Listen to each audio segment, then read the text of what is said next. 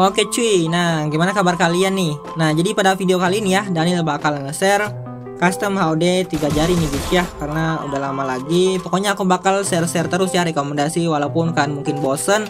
Tapi ya cuman direkomendasikan ya buat kalian. Nggak aku paksain kok. Jadi buat kalian yang lagi nyari HUD Pengen ganti HUD atau bosen sama HUD nya Mau coba-cobain HUD baru Khususnya HUD 3 jari ya. Karena di video kali ini aku share-nya HUD 3 jari teman-teman jadi silahkan dipakai kalau kalian mau dan silahkan disimak aja ya untuk settingan-settingannya ukuran-ukuran tombolnya kemudian transparansinya dan settingan-settingan pokoknya lengkap ya di video nanti. Kemudian untuk HUD nya ini ya kenapa aku saranin ya kenapa aku rekomendasikan? Karena ini cocok buat semua mode guys. Intinya bisa bikin dia lincah karena kan metode yang kita pakai tiga jari gitu guys. Jadi tangan yang kita pakai main tiga jari otomatis lebih lincah juga ya dibanding dua jari. Walaupun mungkin ya tergantung skill juga tergantung pribadi yang main juga gitu tergantung player. Cuman kalau aku sendiri ya ini cocok buat semua mode cocok buat turnamen juga bahkan ya ataupun buat freestyle buat pepeng buat barbar buat solo squad cocok semua. Kemudian simple rapi kemudian eh tombol-tombolnya atau fitur-fiturnya aku pakai semua aku maksil apa sih namanya maksimalin semua gitu ya bisa dibilang. Kemudian untuk haulnya juga ya bisa dipakai buat lincah gitu auto lincah ya bisa dibilang kemudian gampang headshot nah buat kalian yang penasaran langsung aja disimak ya dan pastikan udah klik tombol like dan subscribe nya dulu cuy biar Daniel tuh makin semangat bikin video-videonya ya kan dan mungkin langsung aja kita masuk ke pembahasan atau ke inti eh, HUD nya guys ke settingan-settingannya dan gimana cara settingnya ya teman-teman Oke teman-teman, langsung aja kali ya ke kontrol atau custom HUD-nya. Nah, di sini pertama-tama seperti biasa ya aku bakal jelasin dulu. Kalau misalkan nanti untuk custom HUD-nya eh, ada yang mau dimodifikasi, ada yang mau diubah-ubah silahkan teman-teman ya. Ini aku cuman kasih gambaran yang aku pakai doang atau rekomendasi doang. Bisa kan ubah-ubah sendiri senyaman mungkin ya, sesuai dengan selera dan keinginan kenyamanan masing-masing.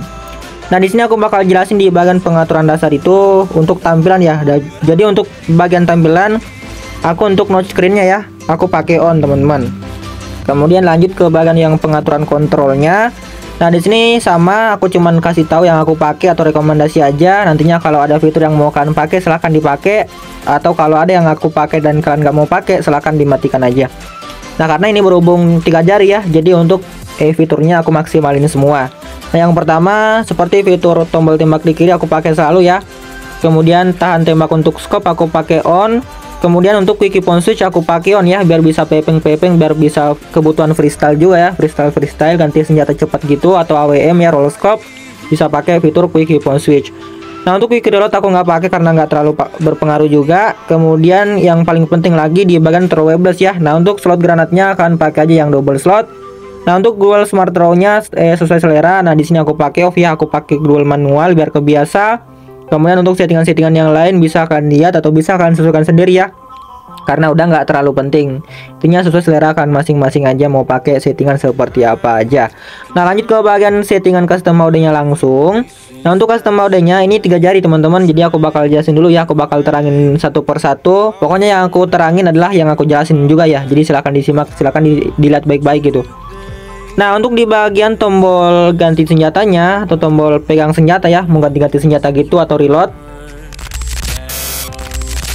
Nah ini ada di atas teman-teman dengan ukuran 90% Nah untuk transparansinya nanti aku bakal bahas ya di akhir video Nah kemudian lanjut ke bagian bawah sini ada tombol lompat ya dengan ukuran 75% Kemudian di bawahnya lagi ada tombol jongkok dengan ukuran 75% jadi agak gede ya.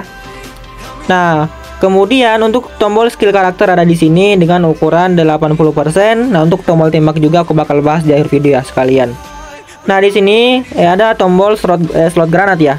Karena kan dual sama granatnya beda gitu. Nah ini yang aku pakainya kliknya pakai tombol jempol kanan ya Nah kemudian di bagian atas yang aku pakai telunjuk buat ngekliknya yaitu tombol quick weapon switch teman-temannya atau kalau kalau apa namanya mau roll scope sniper ganti-ganti senjata dengan, dengan cepat atau mau freestyle aku pakai tombol tangan telunjuk ya buat pencet tombol ini teman-teman jadi ini tiga jari Nah, kemudian lanjut ke bagian kiri ya. Kita pindah ke agak kiri. Nah, di sini ada tombol global dengan ukuran 100%. Nah, untuk tombol bom tadi ukurannya 60 dan untuk tombol quick weapon switch-nya 80%. Nah lanjut ke bagian sini ya ada tombol analog dengan ukuran 25% Kemudian di atasnya ada tombol lari dengan ukuran 80% Kemudian untuk tombol skopnya di mana bang? Nah ini tombol skopnya ya guys ya agak gede juga Dan ini aku pencetnya pakai tombol telunjuk kiri ya Kalau tadi yang, yang di sebelah pakai tombol apa sih namanya? Pakai tangan telunjuk di kanan ya Jadi nggak barengan gitu kita pakai jadi satu-satu ya Kadang kita pakai tangan telunjuk eh, kanan buat eh bantu jempol kanan kiri kita kadang juga aku pakai tangan telunjuk kiri. Jadi tiga jari ya. Nah kemudian di bagian kiri di sini ada tombol skill karakter kedua dengan ukuran 70% pindah dikit ke atasnya geser dikit ke atasnya ada tombol medkit dengan ukuran 65% kemudian tombol tas sama ya ukurannya 65% Nah, kemudian tombol ngepron ya ada di sini karena jarang ku pakai juga ini jarang kepake makanya aku taruh di pinggir bawah aja kanan kanan eh paling bawah ya. Tapi bukan kanan, di kiri cuy dengan ukuran 40%. Kemudian untuk tombol tembak aku bakal jelasin eh ukurannya di sini aku pakai 75% ya. Cuman yang aku saranin itu nggak harus 75%, intinya sesuai selera kalian. Rekomendasi aku, saran aku aja yang bisa kalian cobain ya. Pokoknya aku saranin itu antara 50 sampai 75% ataupun yang paling mentok-mentok yang paling gede ya, yang paling maksimal yang aku saranin adalah 80%. Masih bisa kok, masih enak kok. Cuman di sini aku pakai 75%. Saran aku ya kalau kalian mau pakai buat Pepeng buat one shot nah lebih lebih kecil lebih bagus ya. Bisa pakai antara 50-an sampai ke eh, 65 persenan.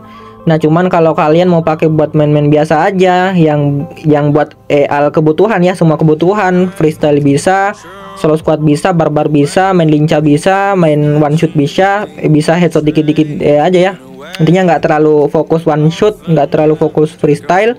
Nah akan bisa pakai yang ukuran 70 sampai 80 persen mungkin ya. Cuman di sini aku pakai 75 persen Nah kemudian saran aku ya untuk penempatan dan posisinya kan posisi kan agak ke bawah ya biar lebih gampang headshot biar tarikan kalian lebih eh, lebih gampang ya lebih enteng tarikan kalian ke atas lebih tepatnya ke kepala musuhnya. Jadi digeser aja ditaruh aja agak ke bawah seperti ini ya.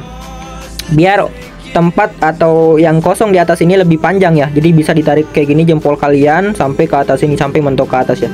Karena ya leluasa tangan kalian buat geraknya buat gesernya nah kemudian yang yang terakhir ya aku bakal jelasin tombol-tombol yang kurang penting seperti tombol emot. Tombol emotnya di sini ukurannya 70% kemudian tombol tandain di sini ya tandain item atau map. Kemudian tombol emot pet ada di pojok kiri ya kalau nggak kelihatan mohon maaf karena nanti mungkin kepotong ya videonya di bagian pojok-pojoknya karena aku besarin. Kemudian untuk nickname player ada di atas ini teman-teman ya ukurannya 65% nah satu lagi cuy aku hampir hampir lupa teman-teman nah tombol tembak di kirinya ya Nah, hampir nggak kelihatan teman-teman ya. Ketimpa sama tombol nickname playernya, sama nama-namanya ya. Ini ukurannya 70%. Ini juga aku klik yang menggunakan tombol telunjuk di kiri. Tangan telunjuk di kiri, bukan tombol teman-teman.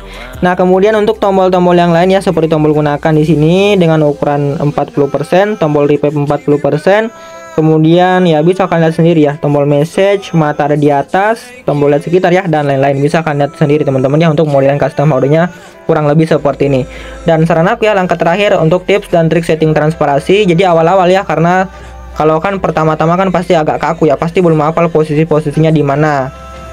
Nah jadi untuk awal-awal pakai aja ya yang transparasi antara 0 antara 10 ya sampai 50 persenan. Nah eh salah lagi sih ya kebalik Jadi pakai antara 100 sampai 50 persenan gitu kalau awal-awal. Nah, cuman kalau kalian udah kebiasa, udah lumayan hafal juga, nah biar lebih rapi juga ya kan, kalian bisa pakai antara 50 sampai ke 10 persenan. Nah, kenapa Daniel tuh pakainya yang kecil teman-temannya karena biar lebih rapi karena ya biar aku bisa lebih hafal juga ya tanpa aku lihat tombol-tombol yang aku yang aku pencet. Jadi aku pakai kebanyakannya 10 persenan, bahkan hampir semua. Nah, nanti kalau kalian udah setting seperti ini silahkan di save ya, silahkan disimpan aja teman-teman. Cuman karena Daniel udah simpan sebelumnya, makanya di sini aku batalin aja. Dan mungkin untuk video kali ini ya HOD rekomendasi atau sharing-sharing HOD tiga jari kali ini sampai sini aja. Makasih banyak yang udah nonton ya dan ucapin makasih banyak juga buat yang udah paket lengkap. Nah, sampai jumpa di next video ya. Assalamualaikum warahmatullahi wabarakatuh teman-teman.